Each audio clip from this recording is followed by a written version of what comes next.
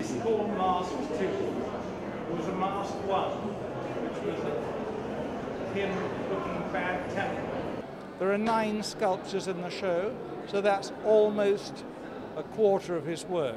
20 25% of his work is in the show because he makes very few pieces very slowly and as Lucian Freud once said he only makes masterpieces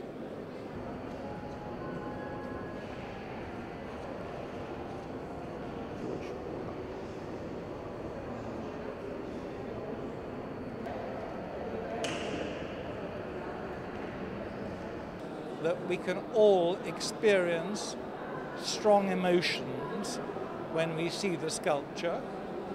And even though those emotions might be the emotions of a young boy or of an old man, we feel them intensely, and that is the power of the work.